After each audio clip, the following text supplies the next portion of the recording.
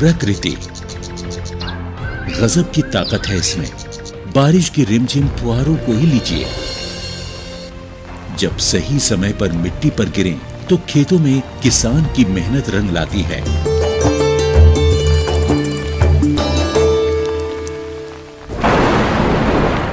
लेकिन वही बारिश बेमौसम हो जाए तो फिर तबाही का मंजर दिखाती है।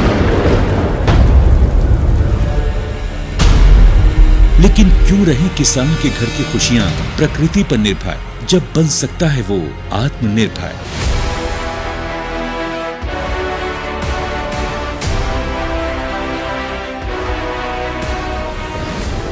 किसानों को प्राकृतिक आपदाओं की वजह से फसली नुकसान होने की स्थिति को ध्यान में रखते हुए भारत सरकार ने 2016 में प्रधानमंत्री फ़सल बीमा योजना की घोषणा की। इस बीमा योजना का उद्देश्य विभिन्न प्रकार की प्राकृतिक आपदाओं, जैसे ओले गिरना, जल भराव, बाढ़ का आना, बादल फटना, प्राकृतिक रूप से आग लग जाना, भूस्खलन, चक्रवाती तूफ़ान, बेमौसम बारिश, फ़सल की बीमारियाँ, आकाशीय बिजली कीटों के हमले वगैरह से होने वाले नुकसान की स्थिति में किसानों को वित्तीय सहायता प्रदान करना है।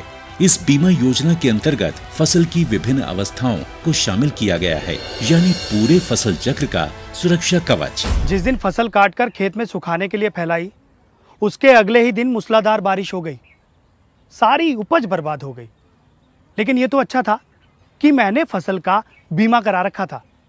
मैं नुकसान से बच गया और क्लेम की रकम भी मुझे आसानी से मिल गई।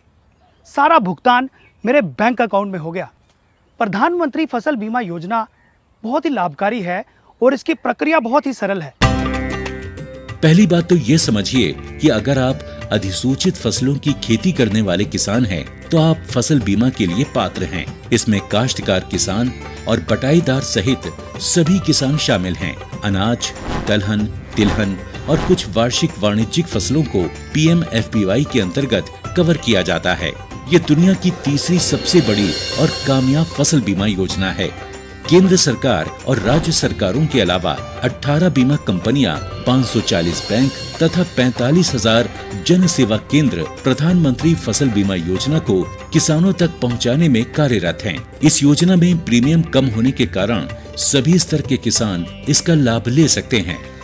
खरीफ फ़सलों के लिए बीमित राशि का दो प्रतिशत प्रीमियम, रबी फ़सलों के लिए बीमित राशि का डेढ़ प्रतिशत प्रीमियम और बागवानी एवं वाणिज्यिक फ़सलों के लिए पाँच प्रतिशत प्रीमियम है। देश भर के किसानों ने करीब इक्कीस हज़ार करोड़ रुपए ही प्रीमियम के तौर पर दिए, लेकिन उन्हें मुआवजे के तौर पर एक लाख करोड़ रुपए से ज़्यादा मिले।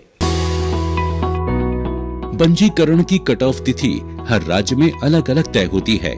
अपने क्षेत्रों या गाँवों की अधिसूचित फ़सलों की सूची, बीमित राशि एवं कट ऑफ़ तिथि की अधिक जानकारी के लिए आप निकटतम कृषि अधिकारी, जन सेवा केंद्र एवं बीमा कंपनी के प्रतिनिधि से संपर्क करें। www.pmfby.gov.in पर लॉगिन करके या फ़सल बीमा ऐप क्रॉप इंश्योरेंस ऐप का उपयोग करके अपनी फ़सल के नामांकन के लिए आवेदन किया जा सकता है। नामांकन के लिए इन दस्तावेजों की ज़रूरत होती है। नवीनतम Aadhaar card, mobile number, bank खाता विवरण भू अभिलेख दस्तावेज़, जिसमें ज़मीन के कागजात और राज्य सरकार द्वारा निर्देशित कोई भी अन्य दस्तावेज़। कैसे मिलेगा फ़सल नुकसान होने पर दावे का भुगतान? पीएम योजना में बीजों की बुआई से लेकर फ़सल कटाई के बाद सुखाने के उद्देश्य से खेतों में 14 दिनों तक फैलाई जाने वाली फ़सलों के पूरे फ़सल चक्र के दौरान जोखिम के कवर को प्रदान करता है। स्थानीय आपदा के कारण या अगर फ़सल कटाई के बाद बीमित फ़सलों को प्राकृतिक आपदा से नुकसान होता है तो बीमित किसान को बहत्तर घंटे के भीतर इसकी सूचना बीमा कंपनी, बैंक या फिर राज्य सरकार के अधिकारियों या बीमा कंपनी के टोल फ्री नंबर पर देना आवश्यक है। जोखिमों में उपज हानि का आकलन फ़सल कटाई प्रयोगों के आधार पर किया जाता है। आपदा के कारण हुए नुकसान पर किसान को बीमा कंपनी द्वारा क्लेम राशि का उचित भुगतान मिलता है। क्लेम राशि का भुगतान सीधे किसान के बैंक खाते में किया जाता है। शिकायत निवारण के लिए किसान बीमा कंपनी, निकटतम बैंक शाखा या ब्लॉक या जिला कृषि कार्यालय में संपर्क कर सकते हैं। वो अपनी शिकायतों के लिए जिला और राज्य स्तरीय शिकायत निवारण समिति तक भी पहुँच सकते हैं।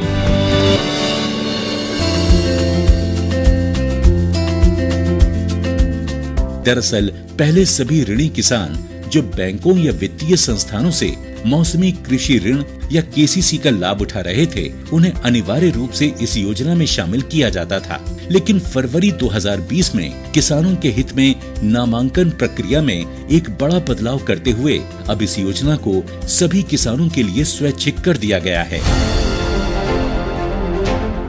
प्रधानमंत्री फ़सल बीमा योजना किसानों को उनकी मेहनत से उगाई फ़सल को सुरक्षित करके देश को आत्मनिर्भर बनाने की दिशा में अहम कदम साबित हो रही है। जब किसान बढ़ेगा, प्रकृति निर्भरता से आत्मनिर्भरता की ओर, तभी तो बनता है आत्मनिर्भर राष्ट्र।